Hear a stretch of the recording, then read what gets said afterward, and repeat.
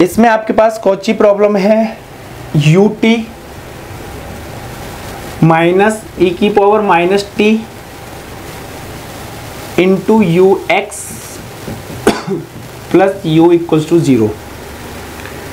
initial condition given है आपके पास, u at x comma zero equals to x ये आपके पास कंडीशंस गिवन है। फिर क्वेश्चन में पूछा कि सॉल्यूशन क्या है with respect to this condition तो इसको आप क्या करेंगे? e की power minus t into u x minus u t equals to u Lagrange equation use करेंगे। डी एक्स अपॉन ई की power minus t d t upon minus one equal to d u upon u तो भाई first and second से आपके पास solution मिलने वाला है। X plus ई की power minus t equals to c one x plus e की पावर माइनस सी टू यहाँ से जो सॉल्यूशन मिलने वाला है आपके पास, जब वो मिलेगा, u equals to c two e की पावर माइनस टी अब आपको t को ज़ीरो पुट करना है, u को x पुट करना है और x को एज इट इज़ रहना है. तो जब मैं t को ज़ीरो पुट करूँगा तो सी वन इक्वल्स टू आपके पास क्या मिलेगा? X प्लस वन तो यहाँ से आपके पास जो मिलेगा, वो मिलेगा x प्लस वन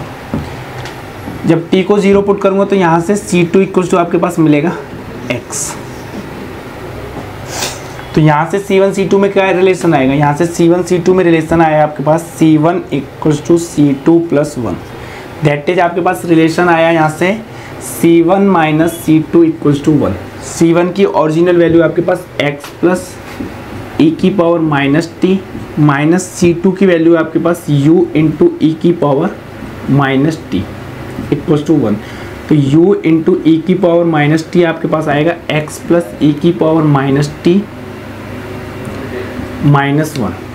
ये मिलने वाला है आपको। तो यहाँ से u ऑफ़ x को टी मिलेगा आपके पास, वो मिलेगा e की power t x plus e की power minus t minus one ये आपके पास गिवन पार्शियल डिफरेंशियल इक्वेशन का सॉल्यूशन है,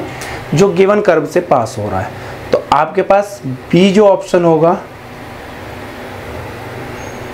ए ऑप्शन ट्रू होगा रिमेनिंग आर आपके पास फॉल्स होंगे। तो answer is A remaining are false